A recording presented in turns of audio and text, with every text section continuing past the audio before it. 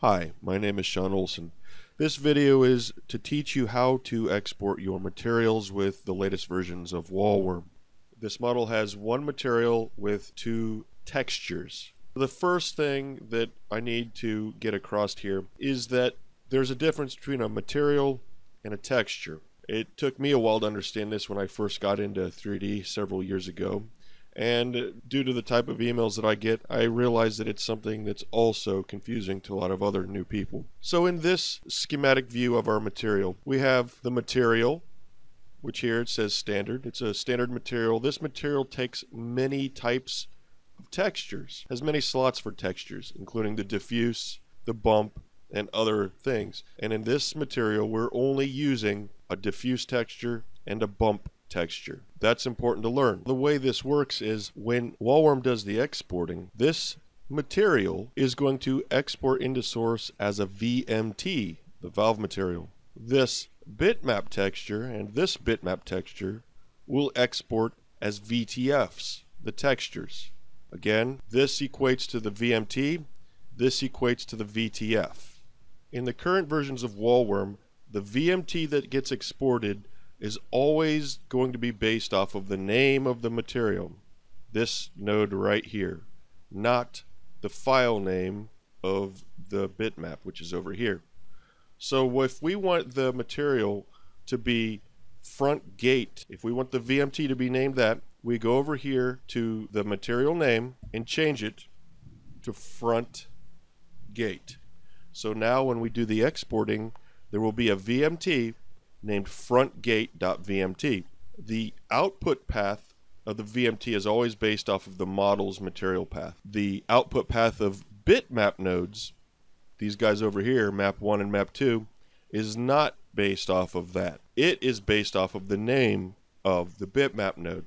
So let's double click this map 1 and if I want to put this VTF into a certain folder what I do is put the relative path as its name. In this case, we'll do models.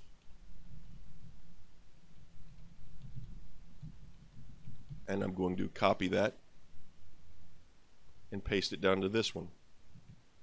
So what this is saying is this bitmap, which is going to be frontgate diffuse map.vtf when it exports, is going to be exported to a folder called models wallworm sacrilege. That's where this VTF will get exported to. So now that I have my materials set up how I want, with the name of my VMT, the material, and the paths to where these VTFs get exported to, the materials are all set up and ready to go. So in Wallworm what I would do is open up the Wallworm model tools, pick my model, set the material path for this model. At this point I can export the materials.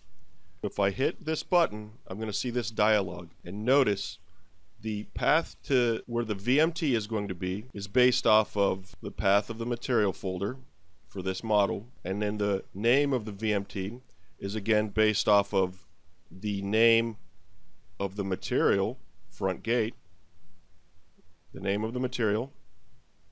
The name of the VTFs is based off of the file names of the TGAs, so if I double click this again, you'll see frontgate diffuse map.tga will become frontgate diffuse map.vtf and the same with the normal map.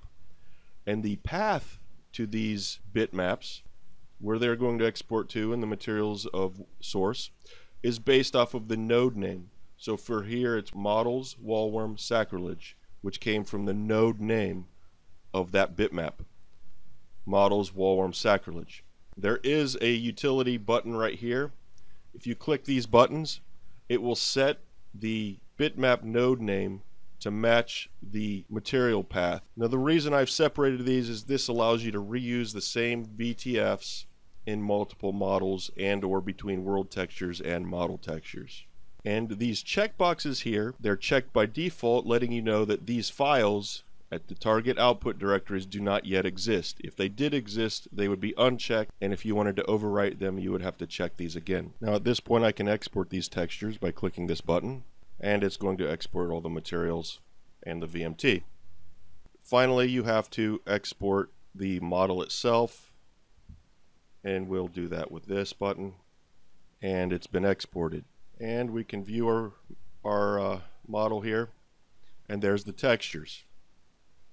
And now I'm going to break the textures just to explain something that's very common. I'm going to go into slate here and I'm going to change the name of this material to front gate 1. So I changed the name of the material used in this model but I'm not going to re-export this name, this material. But I am going to re-export the model. At this point, if I refresh the model, you're going to see it has purple and black textures. And the reason that this happens is when I exported this model, the internal workings of it is assuming that the material name, the VMT, is going to exist that's named front gate 1. But that VMT doesn't exist. Since I changed the name to front gate 1, I then have to re-export the VMT. And the checkbox is here because it says that that file does not currently exist. These are not checked because those files do already exist. I already exported them. So I'm going to export the VMT here and now I'm going to refresh my model. And there's my material. This is very important. Every single time you change the name of a material or anytime you change the material folder path for a model and then you export the model, you also then need to re-export the VTFs and the VMTs. And finally, I need to point out that this setup is dependent on you using the Wallworm SMD exporter. If you go to Wallworm settings, you'll see what exporter you're using. Right here I was using the Wallworm SMD exporter. If, for example, I'm using the Wunderboy or Cannon Fodder SMD exporters, then this setup does not work. And in that case, you should turn on these legacy text names and legacy VTF to make it work like traditional exporters and expect the materials and bitmaps to be named and structured the legacy way that those exporters expect. But for Wallworm, I suggest not turning these on and using the method that I just demonstrated. My name is Shawn Olson. You can learn more about me at my website, shawnolson.net, and you can always get the latest version of Wallworm at wallworm.com. Thank you and have a good day.